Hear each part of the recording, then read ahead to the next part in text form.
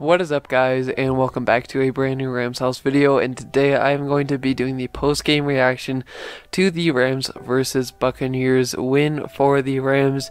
What an amazing game to watch for me as a Rams fan. Let me know what you guys think down below but I'm sure that you guys are also extremely excited for this team and this win just built on that.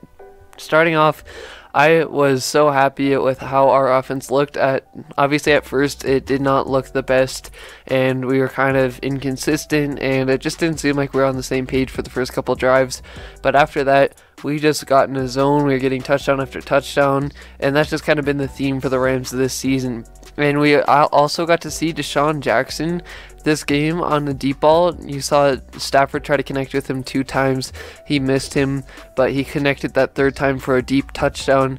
You really just see this offense just completely opening up each and every week you just see more and more wrinkles to the offense that you just never saw with Goff in there. Stafford having an amazing day with four touchdowns, no interceptions, just a crazy good day, an amazing day for the offensive line for the LA Rams. You talk about an offensive line that only gave up one sack and that was in a garbage time point where the Rams were really just closing out the game.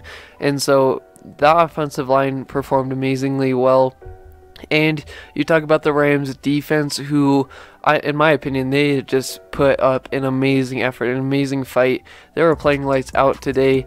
You look at the score, at the box score, and you really don't think that it was the best performance, and you just look at the 24 points. But you know that you see the Tampa Bay Buccaneers scored seven points in the garbage time as well. Really, the seven points that did not really matter, and you just saw the whole game. Tampa Bay and Tom Brady were just flustered. They didn't know what to do, and it just seemed like the Rams, no matter at one point in the game, everybody knew the Rams were coming out with that win. At least for me, I was pretty much after we got that two score cushion in the second half, I was pretty much comfortable. It just felt like the Rams were really in control.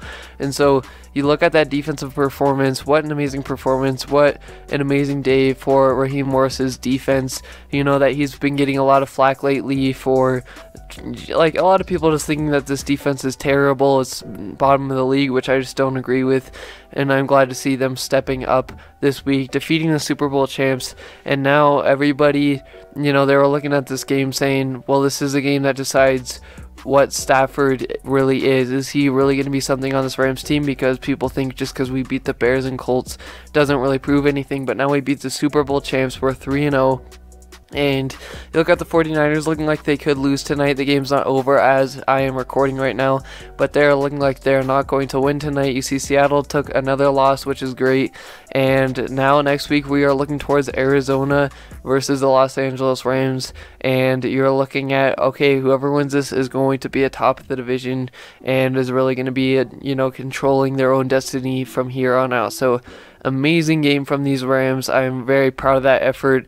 Cannot wait to see what else these Rams can do. Appreciate you guys stopping through to the Rams house. If you love Rams content and anything revolving around the Rams, like game previews, news updates, everything like that regarding the Rams, please hit that subscribe button down below and have an amazing day. Horns up and God bless.